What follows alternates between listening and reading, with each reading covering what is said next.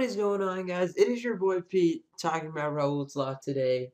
I just got back from watching season 4 Game of Thrones premiere. It was pretty awesome. If you guys don't know what that is, just check it out. One of the best shows I've ever seen. Anyways, let's focus on what we're doing today. If you haven't already, go check out Henry's Law, another podcast I created. It relates a lot to this one, so go check that one out first. There will be an annotation on the screen right about now. Alright, so let's get into it by showing a diagram of Raoult's law.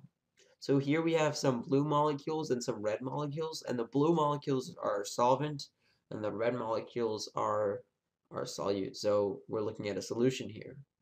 And on the surface, we see that there are seven blue solvent molecules, and there are three red solute molecules. And right above the surface, we see four blue solvent molecules in the vapor phase. And now what's going on here is that as opposed to if we had a diagram where all these molecules were blue, we see that the vapor pressure of this solution goes down.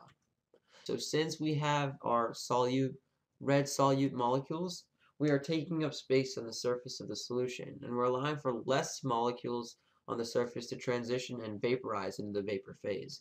And in the same sense, though, all the molecules that are vapor can still condense back onto the surface of the solution.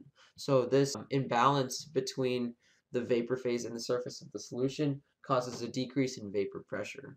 Ultimately, there are less molecules in the vapor phase. Raoult summarized what's going on here with an equation. He basically said that the pressure of a solution equals the mole fraction of the solvent times the pure component of the solvent. So what this means is X, again, is the mole fraction, and that's the number of moles of the solvent over the total moles of the whole entire solution. And the pure component of the solvent is looking at this diagram again. If all these molecules were blue, what would that pressure be? And so the reason why we have a mole fraction, again, we're just looking at a fraction of the number of blue molecules. We're, we're comparing the ratios of red molecules to blue molecules to figure out what the pressure of the entire solution is.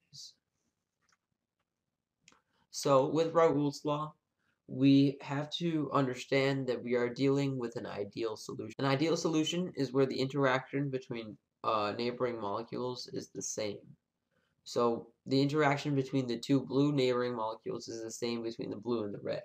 And we know that this does not exist in real life. But solutions closely approximate the behavior of ideal solutions, depending on what you're using. And the more related the solute and the solvent, the more closely they'll appropriate uh, Raoult's Law. That is all, guys, for Raoult's Law. I hope you guys enjoyed it. If you did enjoy it, please like, favorite, and subscribe. And if you didn't enjoy it, please like, favorite, and subscribe.